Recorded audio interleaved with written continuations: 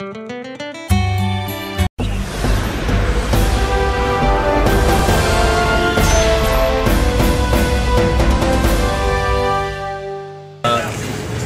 चुनावी मैदान से पीछे नहीं हटा हटा हूँ।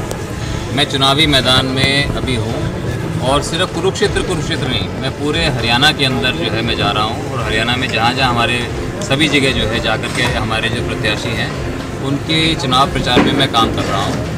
मुझे कुरुक्षेत्र से कांग्रेस पार्टी ने मुझे तीन बार मुझे उम्मीदवार बनाया और मुझे मौका दिया।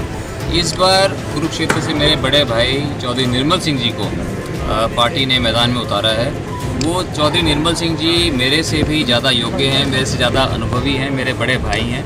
और हम दोनों भाई मिलकर के सभी कांग्रेस पार्टी के साथियों के साथ हम चुनाव लड़ रहे हैं। योग्य तो होंगे पर कुरुक्षेत्र संसदीय सीट के तो निवासी नहीं है। उनका निवासी नहीं वो कुरुक्षेत्र संसदीय क्षेत्र से जो है उनका बहुत लगाव है।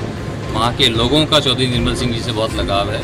और अब जहाँ जहाँ जा रहे हैं हमें बहुत समर्थन भी मिल रहा है। आठ तारीख को प्रधानमंत्री आ रहे हैं और नौ तारीख को सिरसा में सनी देओल आ रहे हैं। क्या फ़र्क पड़ेगा कांग्रेस को इससे देखिए मैं समझता हूँ डॉक्टर अशोक तंवर जो है सिरसा के जन जन से जुड़े हुए हैं।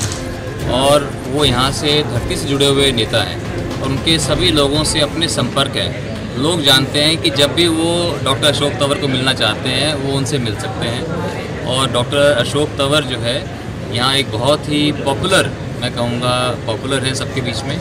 इसलिए कोई भी आए उससे कोई फ़र्क नहीं पड़ा, पड़ेगा।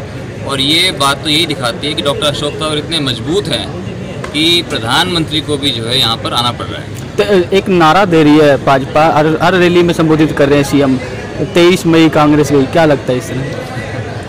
ये तो कोई सपने देखे और वो सपने देख करके कुछ कुछ बोले तो इस हम किसी को रोक नहीं सकते। वो उनका जो भी कहें वो कह सकते हैं। लेकिन वो भी जानते हैं कि वो बड़ी मुश्किल से आए हैं और जाने वाले वो खुद हैं। लोकसभा चुनाव में आप कह रहे हैं कि आप पूरे प्रदेश में प्रचार करेंगे। कर रहा हूँ मैं। विधानसभा चुनाव में हम ये माने कि सावित्री जी की जगह पे इस बार आप विधानसभा चुनाव के हिसाब से? न मेरा कोई ऐसा मेरा कोई विचार नहीं है। और वो जो है जो मेरी माँ ही जो है हिसार से चुनाव लड़ेगी। कहीं तो लगातार चल रही थी कि कोई दबाव है आपके ऊपर? रूलिंग पार्टी का दबाव रहा या किसी की जो व्यवसायिक घराने से आप जुड़े हुए हैं उस चीज़ का लेके कोई दबाव था आपके नहीं नहीं कोई मेरे पे कोई दबाव नहीं था। अगर दबाव होता तो मैं क्यों सब जगह जाके जाके प्रचार करता? ठीक है? इसलिए कोई दबाव नहीं था। जैसे कि मैंने कहा जब मैं चुनाव में लड़ता था, जब मैं काम करता था, तब मैं पूरी तरह से, मैं अपना जो है, सत्तर अस्सी प्रतिशत समय जो है, मैं उनको, मैं देता था। इस समय जो है, मैं अपने और जो अपने काम में जो है, मैं काफ़ी, मैं बिज़ी हूँ, काफ़ी मैं उसके अंदर व्यस्त हूँ। जितना समय मुझे देना चाहिए, उतना समय मैं ना दे पाऊँ।